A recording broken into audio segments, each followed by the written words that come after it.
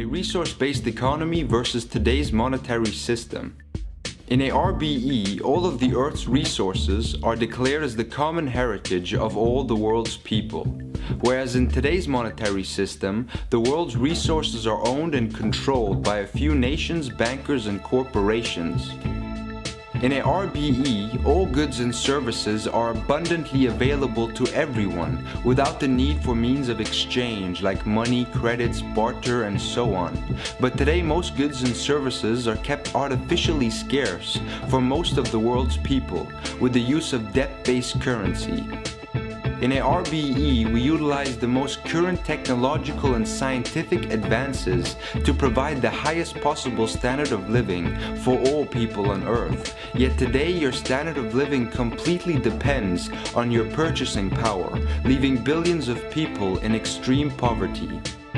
In a RBE, we develop and only use clean renewable energy sources. However, today, we fight over fossil fuels polluting the world and each other.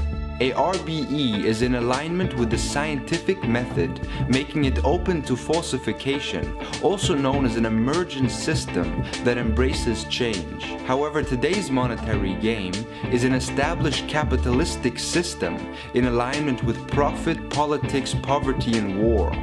In a RBE, we embrace automation to free people from boring and repetitive work.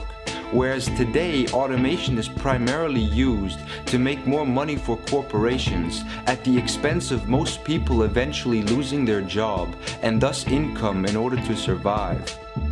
A RBE will create new city environments that reinforce altruism, problem solving, cooperation, compassion, unity, curiosity, creativity, and other extensional behavioral traits. On the other hand, today's socioeconomic structure predominantly reinforces greed, selfishness, competition, war, vanity, hate, fear, and other types of predatory behavior. With the intelligent management of the Earth's resources, production and distribution of resources in a RBE are operated in the most effective and sustainable manner technically possible in a state known as dynamic equilibrium. On the contrary, efficiency, sustainability, and preservation are the enemies of today's economic system. In a resource based economy, we are one sustainable family. In today's monetary system, we either continue killing each other on a path towards extinction, or we build a world where we are one sustainable family. To understand more about what a resource based economy is, check out thevenusproject.com.